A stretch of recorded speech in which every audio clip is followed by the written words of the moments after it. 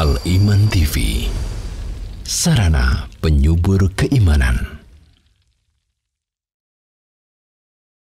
أدلة الكتاب قوله تعالى ليزدادوا إيمانا مع إيمانهم ومن أدلة السنة قوله صلى الله عليه وسلم في النساء ما رأيت من ناقصات عقل ودين أذهب لرب الرجل الحازم أذهب للب الرجل الحازم من إحداكن الحمد لله رب العالمين وصلى الله وسلم وبارك على عبده ورسوله نبينا محمد وعلى آله وأصحابه وأتباعه بإحسان. أما بعد انتقل المؤلف رحمه الله للكلام عن موضوع زيادة الإيمان.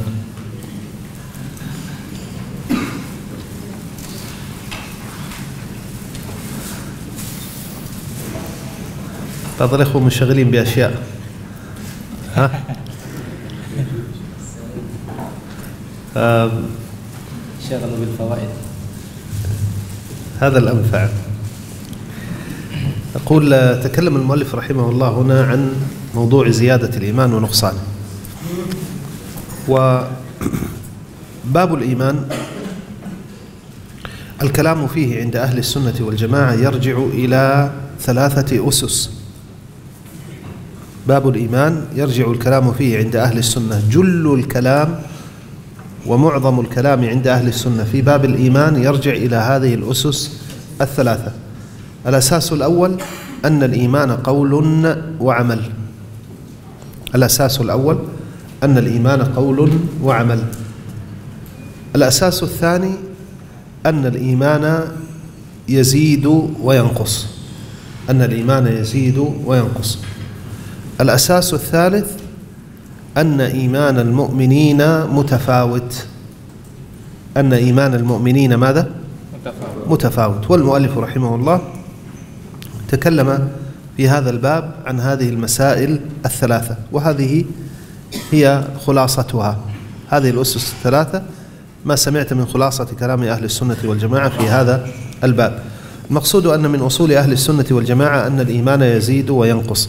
ليس الإيمان شيئا واحدا لا يزيد ولا ينقص بل إنه يزيد وينقص. ولو لم يكن في الأدلة من دليل على أنه يزيد وينقص فإنما يحس الإنسان من نفسه ويشعر به كاف في الدلالة على هذا الأمر.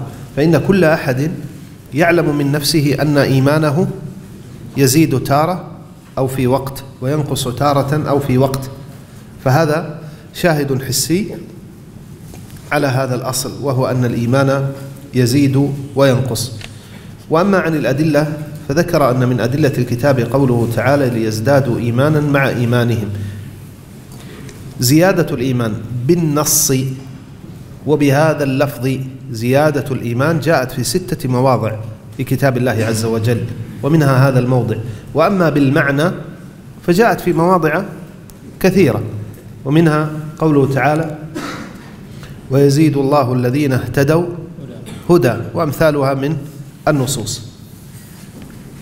قال ومن السنة قول النبي صلى الله عليه وسلم ما رأيت من ناقصات عقل ودين وهذا الدليل الصحيح الوحيد الذي فيه التنصيص على كلمة النقصان. هذا الدليل الصحيح الوحيد الذي فيه التنصيص على النقصان. قال ما رأيت من ناقصات عقل ودين والدين والإيمان بمعنى واحد. وهذا الحديث أيضا فيه دليل على الزيادة. من أي جهة؟ من جهة اللزوم. نعم. من جهة اللزوم. فالدلالة هنا دلالة لزومية على زيادة الإيمان. وجه ذلك أن كل ما قبل الزيادة قبل النقصان. وهذا ما نص عليه الإمام أحمد وكذلك سفيان بن عيينة وغيرهما من أهل العلم. إذا كان ينقص إذا كان قبل زيادته تاما فكما يزيد فكذا ينقص. هكذا قالوا رحمة الله تعالى عليهم وهذا ما نص عليه المؤلف أيضا. نعم. قال رحمه الله ففي الآية إثبات زيادة الإيمان وفي الحديث إثبات نقص الدين. وكل نص يدل على زيادة الإيمان فإنه يتضمن الدلالة على نقصه وبالعكس لأن الزيادة والنقص متلازمان ولا ينقل أحدهما دون الآخر. لا ينقل أحدهما دون الآخر. وقد ثبت لفظ الزيادة والنقص منه عن الصحابة ولم يعرف منهم مخالف فيه. ومن أشهر ومن أشهر كلام الصحابة الكلمة العظيمة التي قالها الصحابي الجليل عمير ابن حبيب الخطمي. فإنه قال كما ثبت عنه قال الإيمان يزيد وينقص. بهذا اللفظ. قال إيش؟ الإيمان يزيد. وينقص. قالوا وما زيادته ونقصانه. قال إذا ذكرنا الله وحمدناه وسبحناه فتلك زيادته.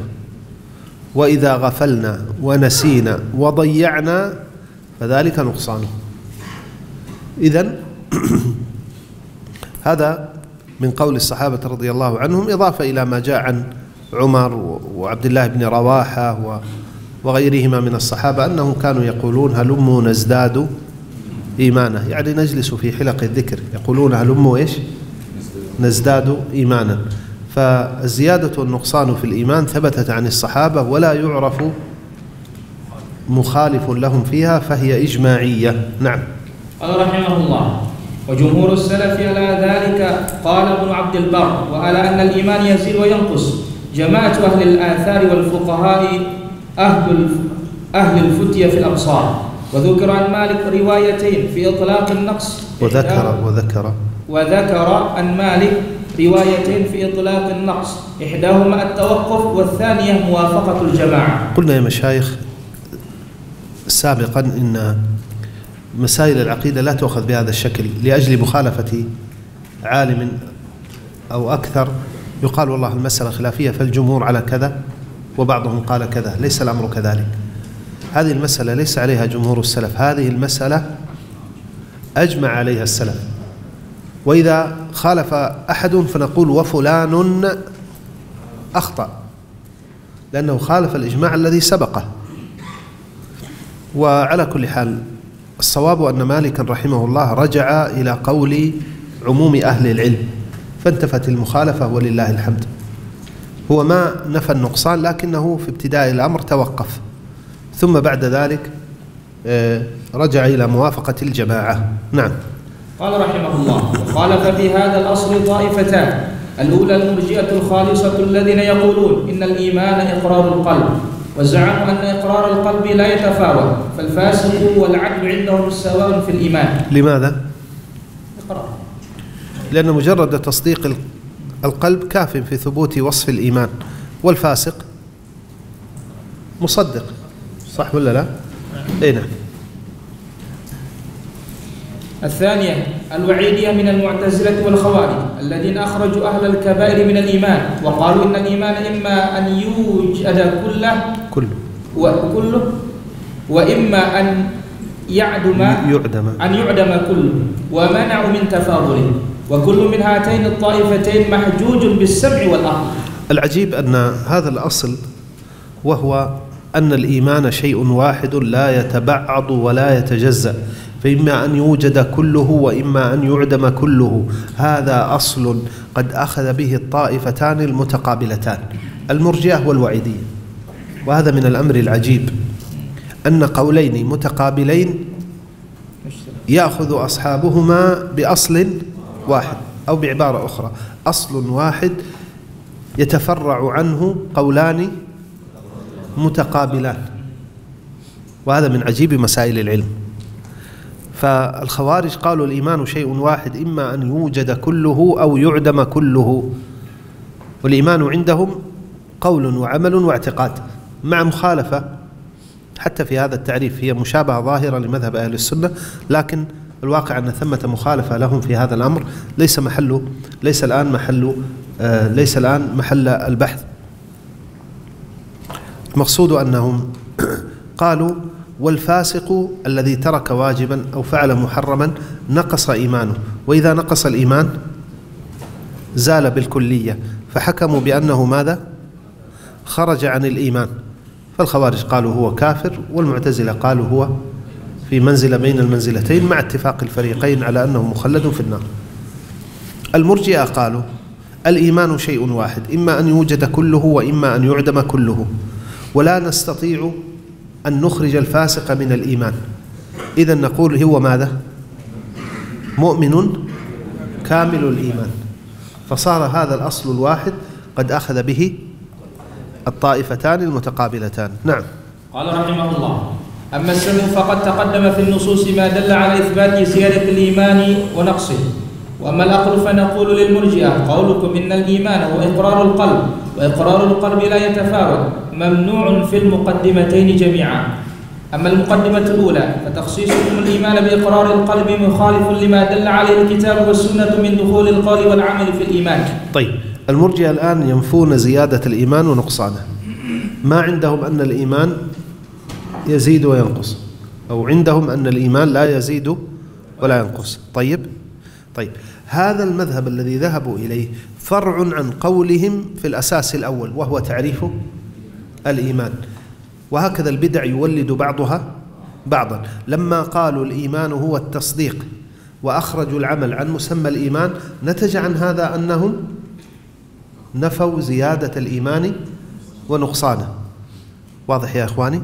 لماذا قالوا إن الإيمان لا يزيد ولا ينقص؟ قالوا لأن الإيمان هو إيش؟ التصديق. والتصديق لا يزيد ولا ينقص. شيء واحد إما أن يوجد وإما أن يعدم. ماشي؟ طيب. الواقع أننا ننازعهم أولا في تعريف الإيمان. من قال لكم إن الإيمان هو تصديق التصديق فقط؟ هذا غير صحيح. بل الإيمان قول وعمل و... واعتقاد. واعتقاد. والأمر الثاني كما سيأتي ومن قال لكم أن التصديق. من قال لكم إن التصديق غير. لا يزيد ولا ينقص هذا غير صحيح. وهذا ما سيتكلم عنه المؤلف الآن. نعم. قال رحمه الله وأما المقدمة الثانية فقولكم إن إن إقرار القلب لا يتفاوت مخالف للحس. يعني هل هل يجرؤ أحد على أن يقول إن تصديق أبي بكر رضي الله عنه كتصديق أحدنا؟ لا. ها؟ تصديق بالله وبالرسول صلى الله عليه وسلم وبالقرآن وبالسنة. هل تصديق أبي بكر كتصديق واحد منا؟ إذا كيف نقول إن التصديق لا يتفاوت؟ ليس بصحيح. لذلك من الأخطاء التي وقعت في العقيدة الطحاوية قوله وأهله في أصله سواء. ليس بصحيح. ما هو أصله؟ هذا التصديق. الناس فيه إيش؟ سواء. هل هذا صحيح؟ لا ليس بصحيح. أين تصديقنا من تصديق أبي بكر وعمر وإخوانهما من الصحابة؟ نعم. قال رحمه الله فإن من المعلوم لكل أحد أن إقرار القلب إنما يتبع العلم ولا ريب أن العلم يتفاوت بتفاوت طرقه. فإن خبر الواحد لا يفيد ما يفيده خبر الاثنين وهكذا. وما أدركه الإنسان وما أدركه الإنسان بالخبر لا يساوي في العلم ما أدركه بالمشاهدة. فاليقين درجات متفاوتة. وتفاوت الناس في اليقين أمر معلوم بل الإنسان الواحد يجد من نفسه أنه يكون في أوقات وحالات أقوى منه يقينا في أوقات وحالات أخرى. ونقول كيف يصل لعاقل أن يحكم بتساوي رجلين في الإيمان؟ أحدهما مثابر على طاعة الله تعالى فرضها ونفلها. متباعد عن محارم الله. وإذا بدرت منه المعصية بادر إلى الإقلاع عنها والتوبة منها. والثاني مضيء لما أوجبه الله أوجب الله عليه. ومنهمك فيما حرم الله عليه. غير أنه لم يأتي بما يك... غير أنه لم يأتي ما يكفره. كيف يتساوى هذا كيف يتساوى هذا وهذا؟ وأما الوعيدية فنقول له قولكم إن فاعل الكبيرة خارج من الإيمان مخالف لما دل عليه الكتاب والسنة. فإذا تبين ذلك فكيف نحكم بتساوي رجلين في الإيمان؟ أحدهما مقتصد فاعل للواجبات تارك للمحرمات والثاني ظالم لنفسه بفعل ما حرم الله عليه وبترك ما وجب الله عليه بفعل من غيره. بفعل أو يفعل؟ ظالم بفعل ما حرم الله عليه. بالباء طيب ظالم أنا لنفسه بفعل أنا في نسختي يفعل وعلى كل حال كلها ممكنة. نعم. يختلف شيء في نسختي يعني بس تكتب نسخة يفعل. يفعل؟ على كل حال النسخة التي عندكم يبدو أنها أضبط. لأنها متأخرة. نسختي قديمة. نعم. والثاني ظالم لنفسه بفعل ما حرم الله عليه وبترك ما أوجب الله عليه من غير أن يفعل ما يكفر ما يكفر به. ما ما يكفر يكفر به. ونقول ثانيا هل أننا أخرجنا فاعل الكبيرة من الإيمان فكيف يمكن أن نحكم على رجلين بتساويهما في الإيمان؟ وأحدهما مقتصد والآخر سابق بالخيرات بإذن الله. على كل حال هذا هو ال- الأساس الثالث. يعني نحن نقول الأسس الإيمان قول وعمل. الإيمان يزيد وينقص.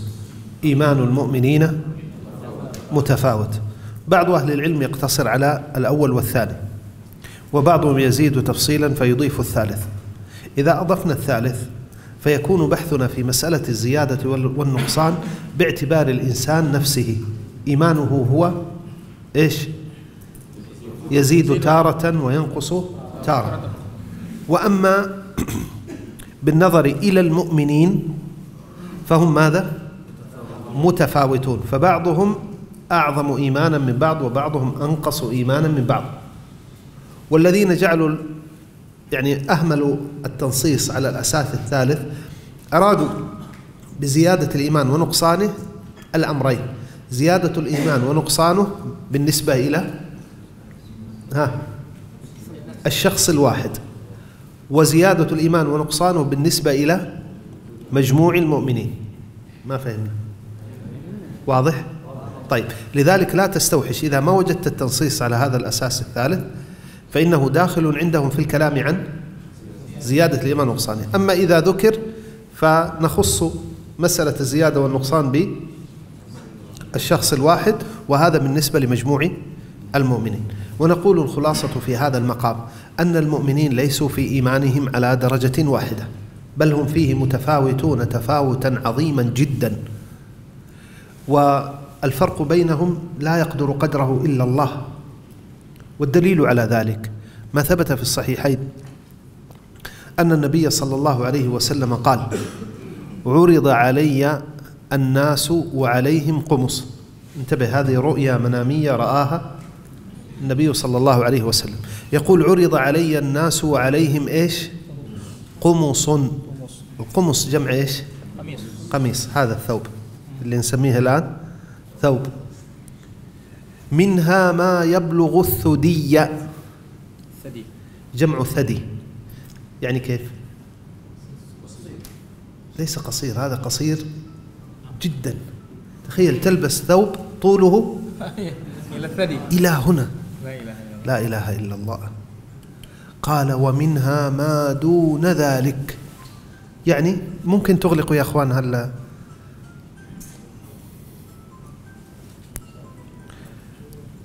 طيب.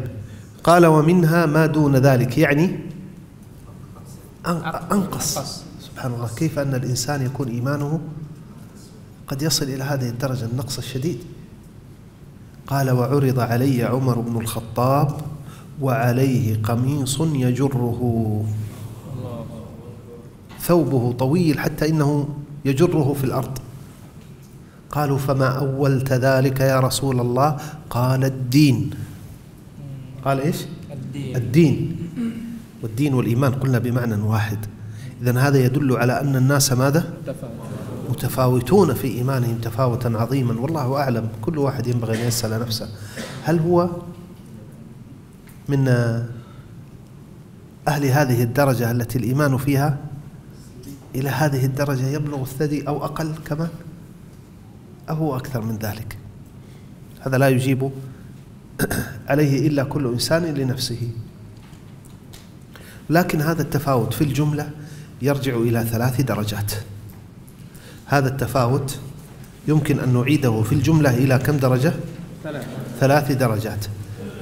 جاء بيانها في سورة فاطر في قول الله عز وجل ثم أورثنا الكتاب الذين اصطفينا من عبادنا فمنهم ظالم لنفسه ومنهم مقتصد ومنهم سابق بالخيرات بإذن الله.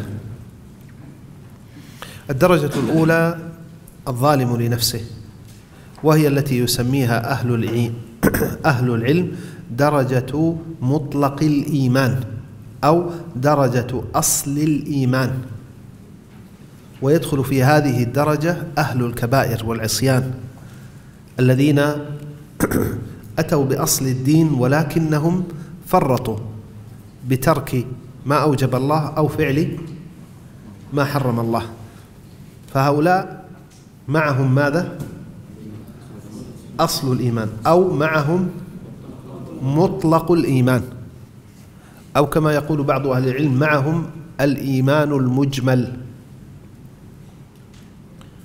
الدرجة الثانية قال ومنهم مقتصد.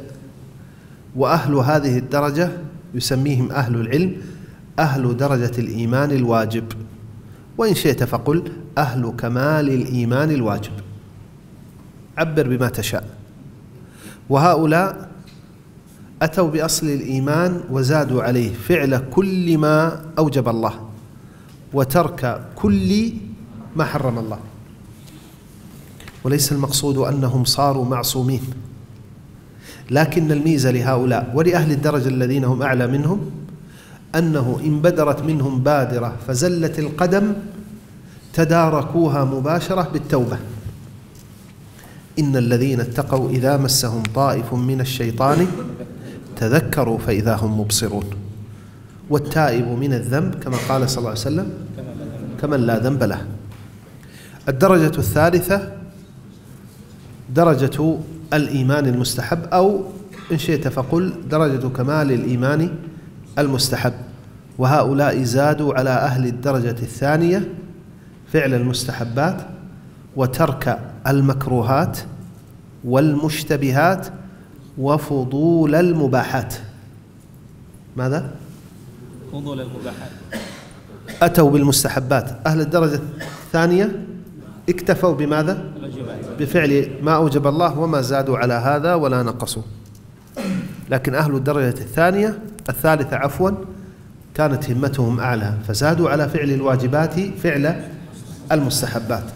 وأيضا في الجانب الآخر مع كفهم عن المحرمات كفوا عن المكروهات وهي ما نهي عنه نهيا غير جازم.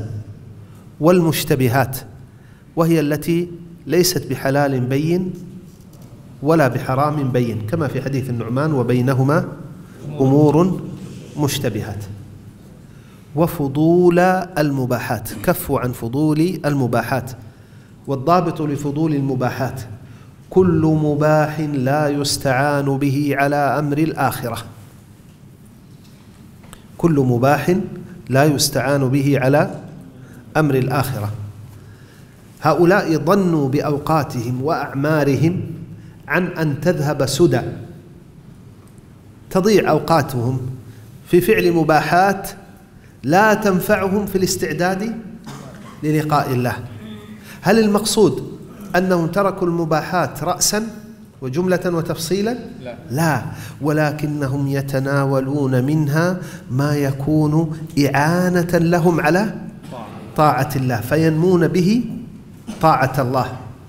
فتصبح هذه المباحات بالنيات اعمالا صالحات. واضح يا إخواني؟ يأكلون لكن ليس كغيرهم ممن همه بس أن يلتذ.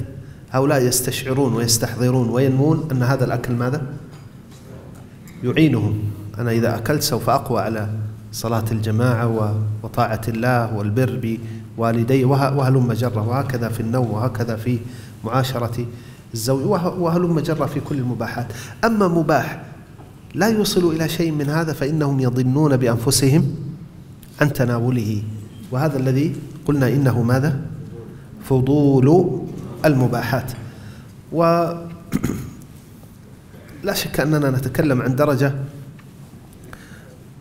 ما شممنا لها رائحة وإنما هكذا يعني يقول العلماء وإلا ففرق بين العلم بالشيء وبين حاله.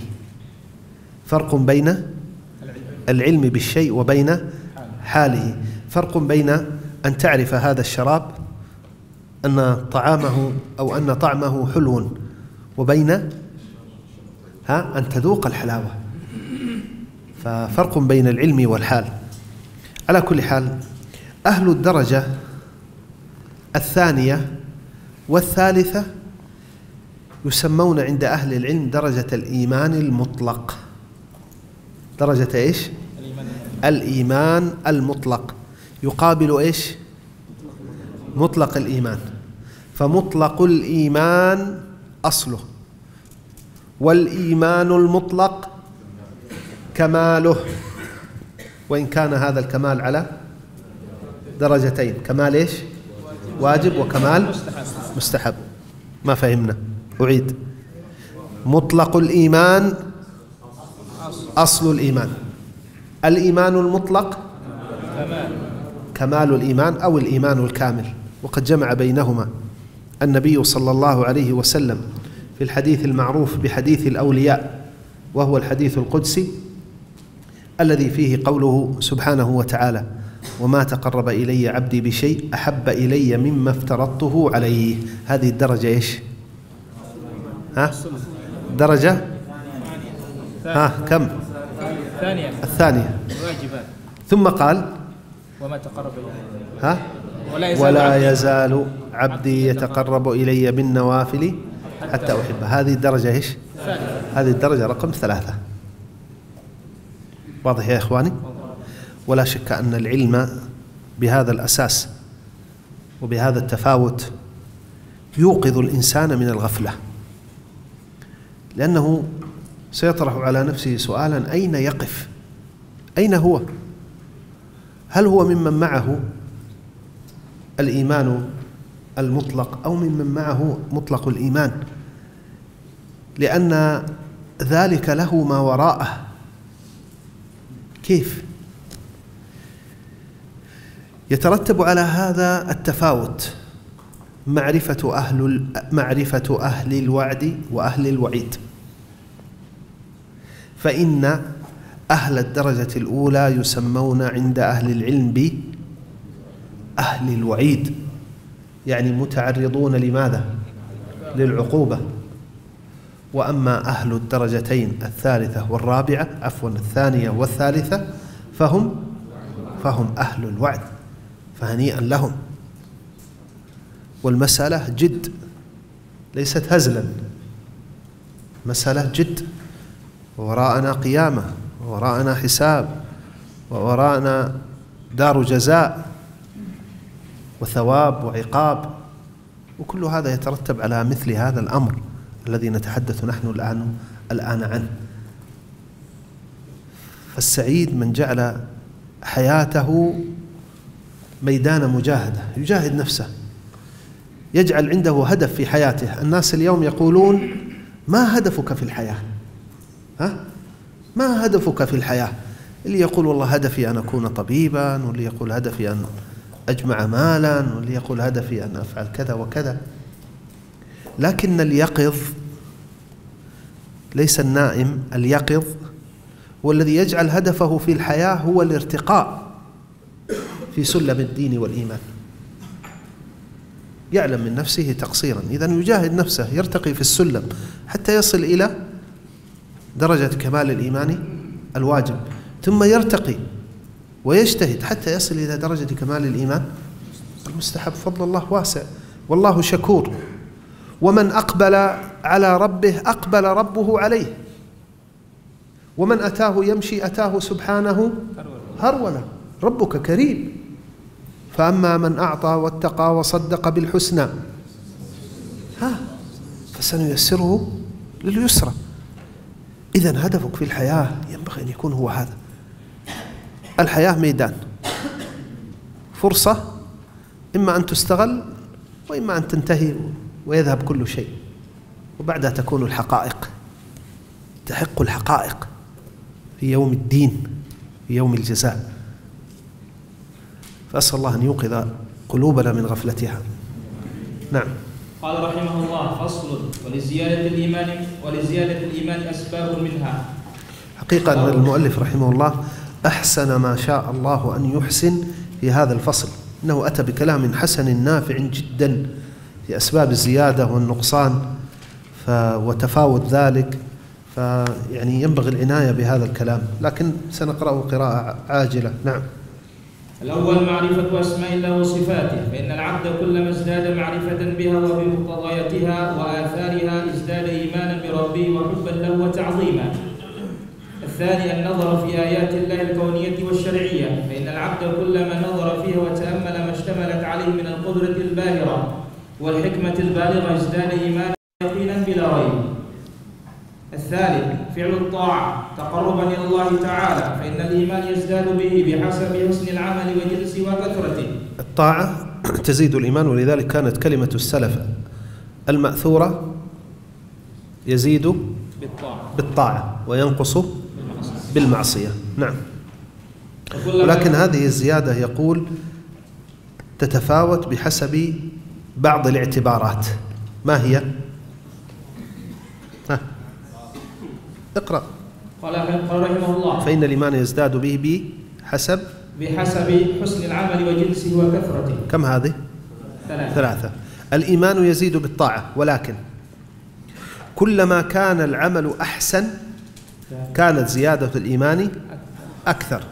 طيب.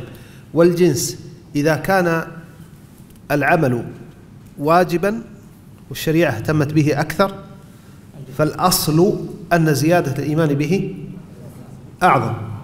طيب؟ والثالث يقول والكثرة. فلا شك أن زيادة الإيمان بعملين أو بحسنتين أكثر من زيادته بحسنة واحدة. نعم. قال رحمه الله وكلما كان العمل أحسن كانت زيادة الإيمان به أعظم. وحسن العمل يكون بحسب الإخلاص والمتابعة. كيف يكون العمل أو كيف يكون حسن العمل؟ إخلاص متابعة كلما اجتهدت في الإخلاص واجتهدت في المتابعة كلما كان عملك أحسن. نعم.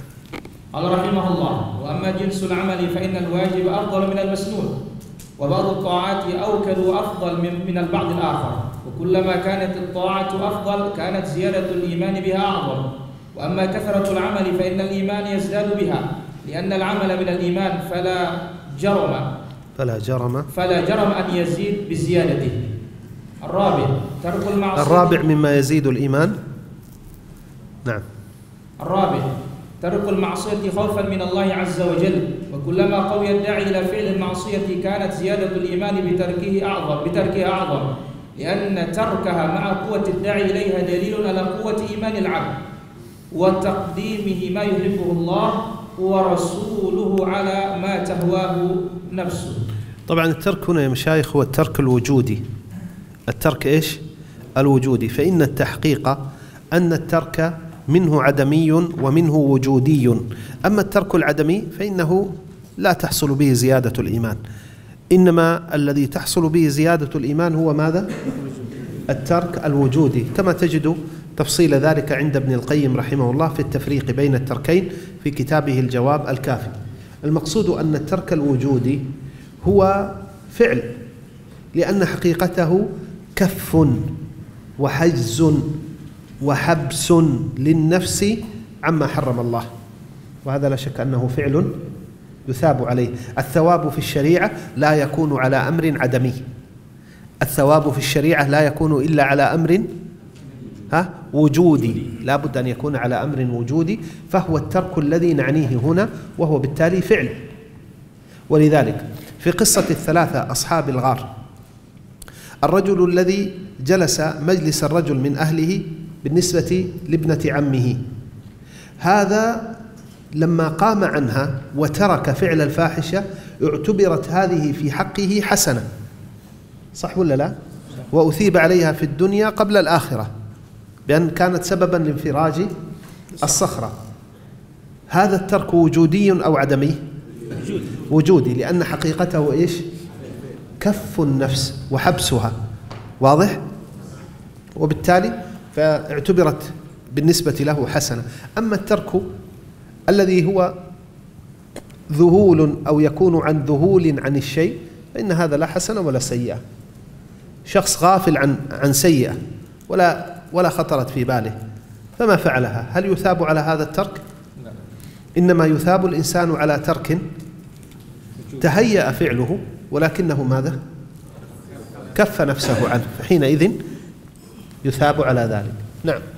قال رحمه الله وأما نقص الإيمان فله في أسباب حديث السبعة قال ورجل دعته امرأة ذات منصب وجمال. فقال إني فقال إني أخاف الله. هذا من هذا الترك. إذا الحسنة يا إخواني ليست مختصة بفعل الطاعة بل تشمل أيضا ترك المعصية بشرط أن يكون هذا الترك إيش؟ تركا وجوديا. نعم. قال رحمه الله وأما نقص الإيمان فله أسباب. لكن هذا الترك يقول الشيخ ترك المعصية يزداد الإيمان به بحسب اعتبار. نحن قلنا فعل الطاعة يزداد الإيمان به بثلاث اعتبارات صح؟ حسن الحسنة الجنس وجنسها وكثرتها. هنا يقول بحسب قوة الداعي. بمعنى كلما قوي الداعي إلى فعل المعصية كانت زيادة الإيمان بتركها أعظم. وكلما ضعف الداعي إلى فعلها كانت زيادة الإيمان أقل من الأول. ولذلك ترك الشاب القوي النشيط للفاحشة يزداد إيمانه بهذا الترك أكثر مما ها؟ يزداد الشيخ الكبير. واضح؟ لماذا؟ لأن القاء الأصل أن الداعي في نفسه إلى فعل الفاحشة ماذا؟ أعظم. نعم. قال رحمه الله وأما نقص الإيمان فله أسباب منها. الأول الجهل بالله تعالى وأسمائه وصفاته. الثاني الغفلة والإعراض عن النظر في آيات الله وأحكامه الكونية والشرعية. فإن ذلك يوجب مرض القلب أو موت باستيلاء الشهوات والشبهات عليه. الثالث فعل المعصية. فينقص الإيمان بحسب جنسها وقدرها والتهاون بها وقوة الداعي إليها أو ضعفه. كم اعتبار هنا؟ أربعة. عندنا هنا أربعة اعتبارات. يتفاوت نقصان الإيمان بحسبها في فعل المعصية. وفصلها المؤلف رحمه الله. نعم. قال رحمه الله فأما جنسها وقدرها فإن نقص الإيمان بالكبائر أعظم من نقصه بالصغائر. لا شك فإن الكبيرة أعظم من الصغيرة فمن باشر كبيرة نقص إيمانه أعظم مما ينقص لو فعل صغيرة. نعم. ونقص الإيمان بقتل النفس المحرمة أعظم من نقصه بأخذ مال الم... بأخذ مال محترم هذا من جهة إيش؟ الجنس. هذا من جهة الجنس. نعم. قال رحمه الله ونقصه بمعصية أكثر من نقصه بمعصية واحدة وهكذا. هذا بحسب القدر. بحسب إيش؟ القدر يعني العدد إيه. وأما التهاون بها فإن المعصية إذا صدرت من قلب متهاون بمن عصاه ضعيف الخوف منه كان نقص الإيمان بها أعظم من نقصه إذا صدرت من قلب معظم لله تعالى. شديد الخوف منه لكن فرطت منه فرطت المعصية. فرطت منه. لكن فرطت فرطت منه المعصية.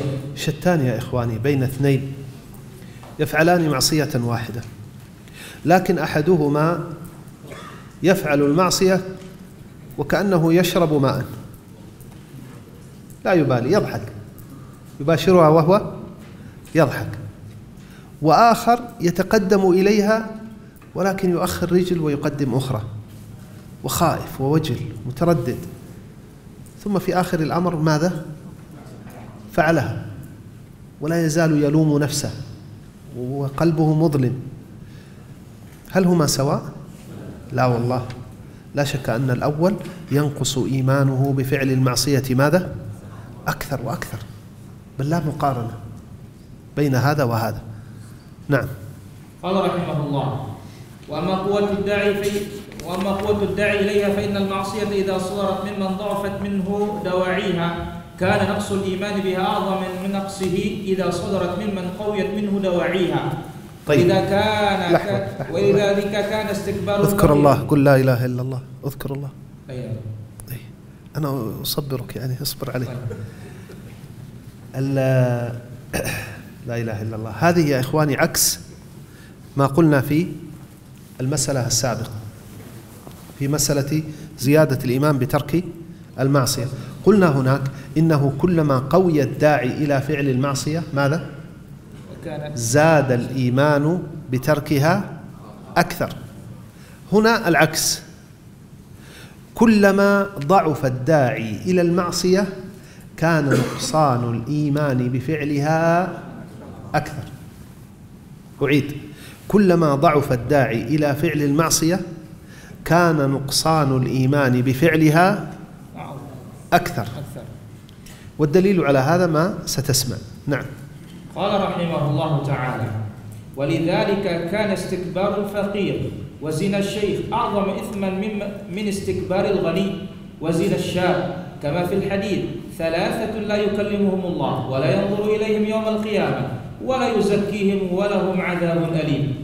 وذكر منهم الأشيمط الزاني. الأشيمط يعني الشيخ الكبير.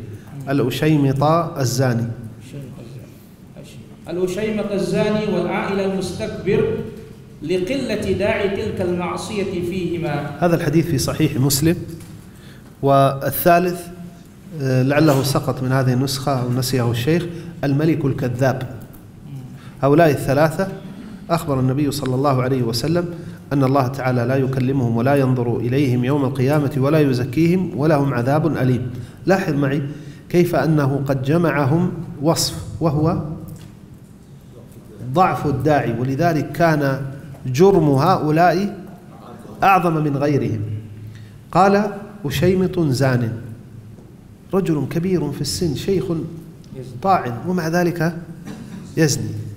الداعي إلى فعل الفاحشة بالنسبة له ضعيف. إذن هذا دليل على فساد في نفسه. فضعف الإيمان بهذا أعظم. قال وعائل يعني فقير. فقير فقير ويتكبر. على إيش؟ ها؟ يعني التكبر في الغني قبيح فكيف؟ في الفقير. وملك كذاب ملك حاكم ويكذب. من عنده السلطة وعنده؟ فما ما الذي يدعوه إلى أن يكذب؟ فنستنبط من هذا أنه كلما قوي الداعي إلى فعل المعصية كان نقصان الإيمان بفعلها أعظم. نعم.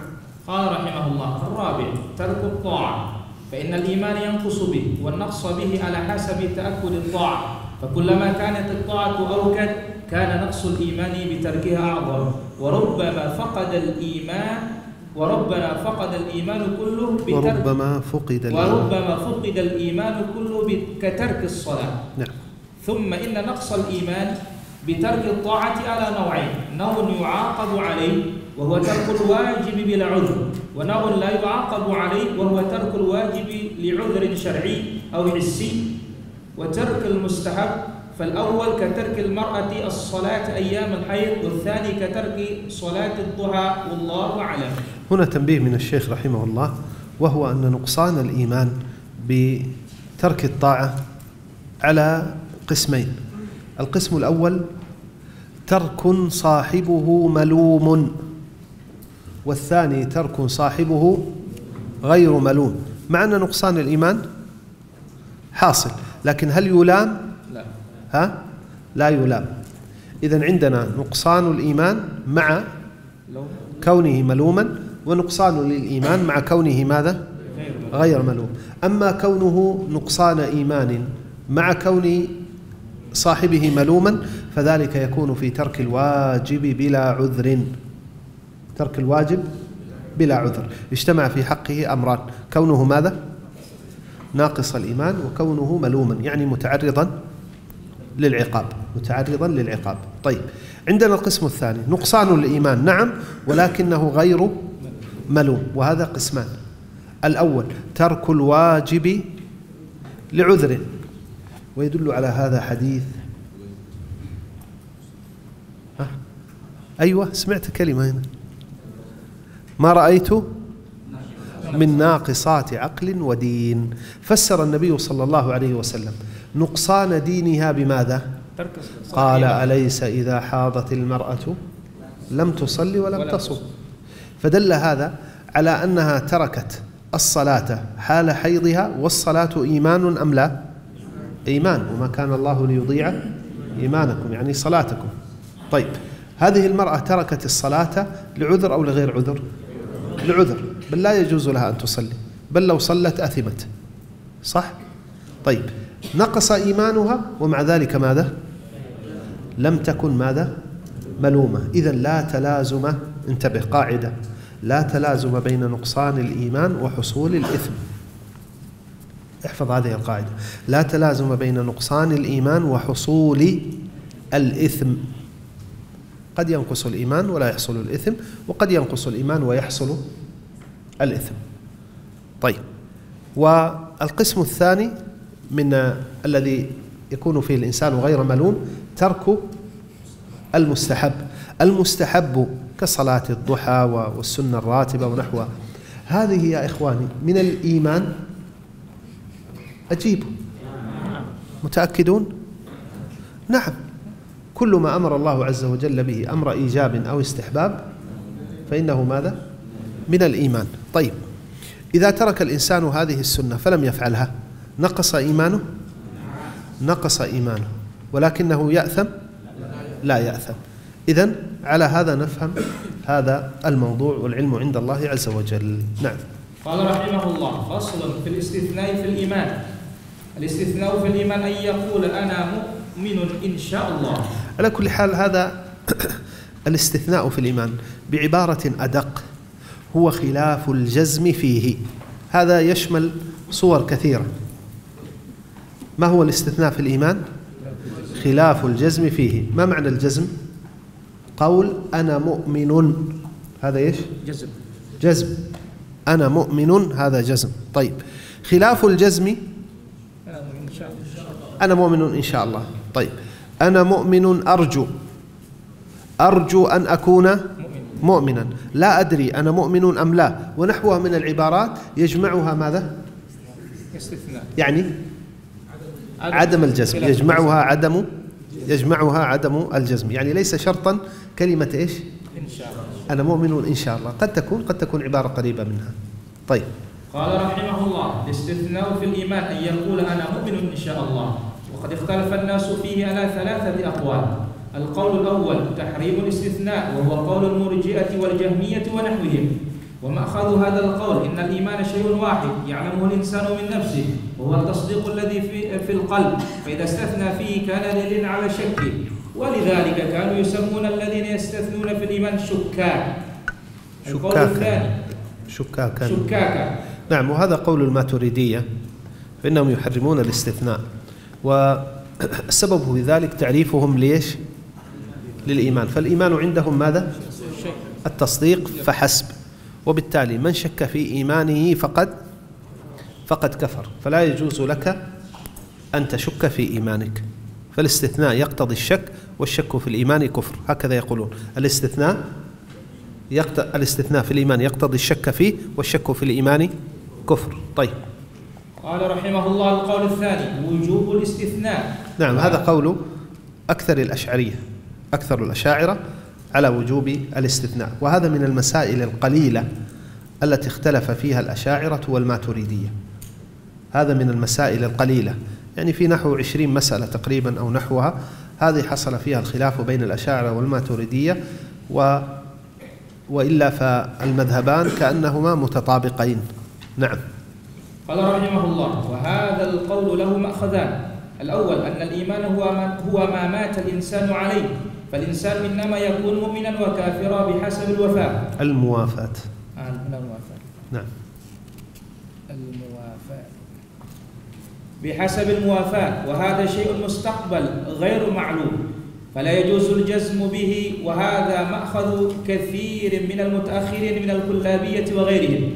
لكن هذا المأخذ لم يعلم أن أحدا من السلف علل به وإنما كانوا يعللون بالمأخذ الثاني وهو طيب تعليل الإيمان بقول عفوا تعليل الاستثناء بمسألة الموافاة أو الخاتمة كون الإنسان لا يدري أيختم له بالإيمان أو لا؟ هذا محل بحث. والنظر إلى هذه المسألة مجردة عن البحث في مأخذ آه، كلامي يتعلق بالصفات وهو المتعلق بالرضا القديم والسخط القديم ونحو ذلك. هذا المأخذ مجردا مأخذ صحيح في نفسه وقال به جماعة من أهل السنة والجماعة كما فعل الصابوني في عقيدة السلف وأصحاب الحديث وغيره من أهل العلم فهو في نفسه صحيح. وإن كان أكثر السلف ما عللوا به. لكن المأخذ عند هؤلاء المتكلمين ليس هذا فحسب بل لها علاقة بمسألة تتعلق بالصفات والوقت لا يسعف لتفصيلها. نعم. وهو أن الإيمان المطلق يتضمن فعل جميع المأمورات وترك جميع المحظورات وهذا لا لا يجزم به الإنسان من نفسه. ولو جزم لكان قد زكى نفسه وشهد لها بأنه من المتقين الأبرار. وكان ينبغي على هذا أن يشهد لنفسه بأنه من أهل الجنة وهذه لوازم ممتنعة. القول الثالث التفصيل. إذا كان الاستثناء صادرا عن شك في وجود أصل الإيمان فهذا محرم بل كفر لأن الإيمان جزم والشك ينافيه. والشك ينافيه. وإن كان صادرا عن خوف تزكية النفس والشهادة لها بتحقيق الإيمان قولا وعملا واعتقادا فهذا واجب فهذا واجب خوفا من هذا المحذور. وإن كان المقصود من الاستثناء التبرك بذكر المشيئة أو أو بيان التعليل وأن ما قام بقلبه من الإيمان بمشيئة الله فهذا جائز. والتعليق بالمشيئة على هذا الوجه أعني بيان التعليل لا ينافي تحقق المعلق. فإنه قد ورد التعليق على هذا الوجه في الأمور المحققة. كقوله تعالى لتدخلن المسجد الحرام إن شاء الله آمنين. محلقين رؤوسكم ومقصرين لا تخافون. وبهذا عرف أنه لا يصح إطلاق الحكم على الاستثناء. بل لا بد من التفصيل السابق والله أعلم. وصلى الله على نبينا محمد وعلى آله وصحبه وسلم. اللهم صل على محمد. خلاصة القول يا إخوتاه في مسألة الاستثناء في الإيمان أن في المسألة ثلاثة أقوال. القول الأول تحريم الاستثناء وهذا قول الماتريدية كما سمعت. القول الثاني وجوب الاستثناء وهذا قول الأشاعرة والكلابية وغيرهم. القول الثالث قول أهل السنة والجماعة وهو التفصيل فيستثنى باعتبار ولا يستثنى باعتبار. لا يستثنى باعتبار أصل الإيمان ويستثنى باعتبار كماله. أعيد. الحق الواضح في هذه المسألة هو أنه لا يستثنى باعتبار أصل الإيمان. بمعنى لو قال قائل لك أمؤمن أنت أم كافر؟ مؤمن. لاحظ أن السياق سياق السؤال يدل على أن الإيمان هنا هو أصله قال أمؤمن أم كافر؟ هنا لا يجوز لك أن تستثني بل لا بد من الجزم. فتقول أنا مؤمن.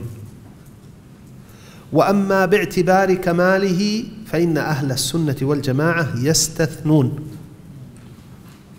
ومأخذهم في ذلك أمور. اولا أن الإيمان المطلق يقتضي فعل كل ما أمر الله به وترك كل ما نهى الله عنه. ومن يجزم من نفسه بذلك؟ من يقول والله أنا ما شاء الله فعلت كل ما أمر الله وتركت كل ما نهى الله عنه. أيجرؤ أحد على ذلك؟ لا. طيب. المأخذ الثاني البعد عن التزكية. فأي تزكية أعظم من أن يقول الإنسان أنا مؤمن؟ فإنها بمثابة أن يقول هذه المقولة بمثابة أن يقول أنا بر أنا تقي أنا صالح. والله جل وعلا يقول فلا تزكوا أنفسكم. والمأخذ الثالث باعتبار القبول. فإن أحدا لا يدري هل قبل الله عز وجل منه عمله أم لا؟ هل أحد يجزم من هذا؟ يجزم لنفسه بهذا يا إخواني؟ نعم؟ والله ما ندري. ربما نحن لا لا نشك في رحمة الله وقدرة وشكره سبحانه وتعالى. وإنما نشك في ماذا؟ في أنفسنا. ربما ما أتينا بما أمر الله به على على وجهه ولا استكملنا شروط قبوله.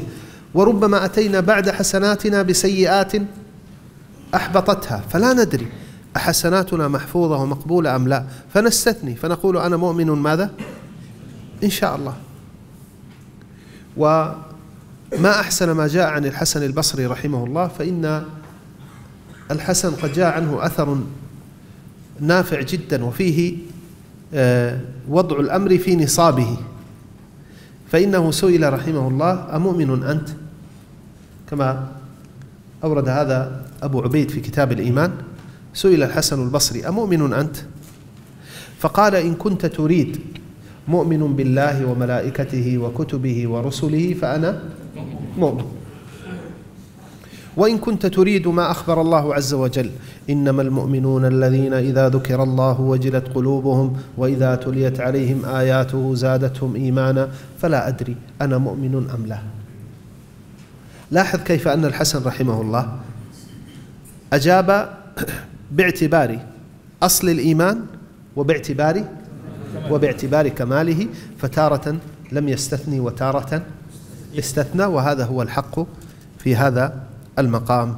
وبهذا ختم المؤلف رحمه الله هذه الرسالة فقال والله أعلم وصلى الله على نبينا محمد وعلى آله وصحبه وسلم. وبهذا نكون قد ختمنا هذه الرسالة بفضل الله عز وجل وتوفيقه ونحمد الله على أن هيأ لنا أسباب ذلك ونشكره على ذلك شكرا كثيرا ونسأله أن يرزقنا العلم النافع والعمل الصالح والإخلاص في القول والعمل وأن لا يكلنا إلى أنفسنا طرفة عين. نعوذ به من شرور أنفسنا ونعوذ به من سيئات أعمالنا ونسأله الهداية والتوفيق والسداد. وهذه الرسالة يا إخواني مما لا شك فيه أننا ما أعطيناها حقها وإلا فلا شك أنها تحتاج إلى آه كلام أكثر وبحث أكثر ووقت أوسع ولكن حسبنا من القلادة كما يقولون ما أحاط بالعنق فنحن إنما مررنا عليها كما يقولون مرور الكرام. فأوصيكم يا إخواني بالرجوع إليها وهذه نقطة نحتاج أن نلاحظها في الدورات. بعض الإخوة يحضر الدورة ثم يطوي الكتاب والحمد لله خلاص. لا الدورة تفتح لك الأبواب ويبقى أن تدخل بعد ذلك. وترجع إن شاء الله إلى بيتك ومحلك وتراجع وتقرأ وتبحث. ربما نقطة تحتاج إلى مزيد بحث توسع في النظر والجمع. فالمقصود أن الكتاب يستحق أن ترجع إليه وقد آه، رأيت قيمته وقد رأيت آه، قدره. فهو يستحق أن تقرأه وأن تجعله صديقا لك. تدمن النظر فيه. فإنه جمع لك خلاصات مهمة وقواعد وضوابط في غاية الأهمية في هذا الباب الذي بحث فيه. فحبذا لو أنك أوليته عناية خاصة وأفدت منه الإفادة التي يستحقها وأسأل الله عز وجل لي ولكم الإعانة والسداد وأن يغفر لنا ذنوبنا كلها دقها وجلها وأولها وآخرها. إن ربنا لسميع الدعاء ونلتقي إن شاء الله على خير. وصلى الله وسلم وبارك على عبده ورسوله نبينا محمد وعلى آله وأصحابه وأتباعه بإحسان. سبحانك اللهم وبحمدك أشهد أن السلام عليكم Al Iman TV Sarana penyubur keimanan.